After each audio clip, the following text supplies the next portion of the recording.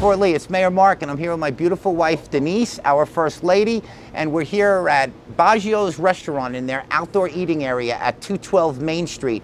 Baggio's and many other restaurants in Fort Lee already have outdoor seating and they are ready to serve you. In our last video, we were featuring restaurants that created these outdoor eating areas that are pretty cool. Make sure you refer to that video for those businesses. But I wanted to remind everybody there's a lot of businesses and restaurants in Fort Lee that already have outdoor eating areas. We've been promoting outdoor eating over the past few years and we have a ton of restaurants that afford that, number one. And number two, it's really important that we patronize our local businesses. They've been doing the right thing during the pandemic. They've been feeding our first responders. They've been doing everything that they've been asked to do. And now they're open and they're ready to serve us. We need support. Everyone needs support to each other.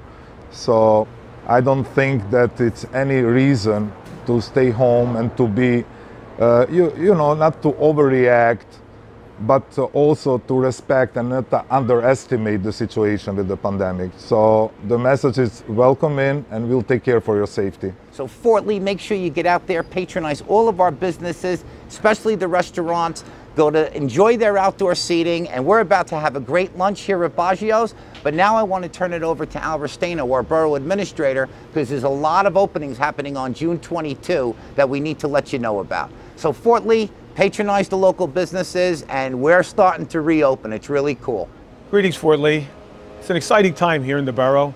We're starting to proceed through the recovery from our COVID 19 virus, but we are excited. Our Department of Public Works is working feverishly to get the pools ready to open. We are waiting for some final guidance from the state of New Jersey to provide us the details. I know it's going to be a little bit different than it has been in the past. There'll be limitations on numbers. There may be restrictions on certain hours of the day where we can attend or take advantage of the pools, but we are excited they will be opening. Um, if you check our website, we're shooting for the beginning of July. So right after 4th of July, we're anticipating those to be opened. One little sour note is that our spray park, which we built a couple years ago and was really well received, ties in with the park equipment as opposed to the pool. So that won't be opening yet, but we are looking for guidance from the state, and hopefully we'll be able to get that up and running for the children of Fort Lee as soon as possible. Monday, there'll be some other uh, reopenings in the borough, barbershops, spas, nail salons, things of that nature. Cosmetology services will all be available on a limited basis. So we're excited. We're looking forward to many things. We hope you are as well. Enjoy the beginning of the summer and stay safe.